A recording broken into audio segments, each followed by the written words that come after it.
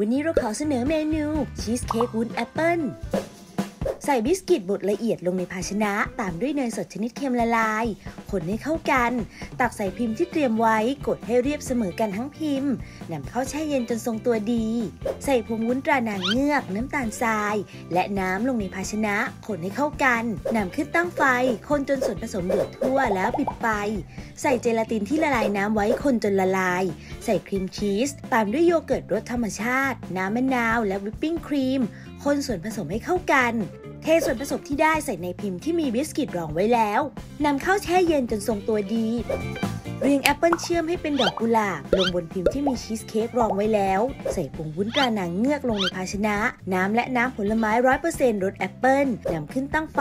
คนจนส่วนผสมเดือดทั่ว เติมน้ำตาลทราย คนจนน้ำตาลทรายละลาย และส่วนผสมเดือดอีกครั้ง ปิดไฟค่ะ เกร็ดความรู้การทำวุ้น การใส่น้ำตาลทรายหลังจากที่ต้มส่วนผสมวุ้นเดือดแล้ว จะทำให้วุ้นละลายได้ดีและวุ้นมีลักษณะใส ค่อยๆ ตักส่วนผสมที่ได้ลงในพิมพ์ที่เรียงแอปเปิลไว้ ประมาณ3ส่วน4ของพิมพ์ พักจนอุ่นนำเข้าแช่เย็นจนทรงตัวดี พร้อมเสิร์ฟแล้วค่ะกับเมนูชีสเค้กวุ้นแอปเปิลเมนูโดนใจจากผงวุ้นตราหนังเงือก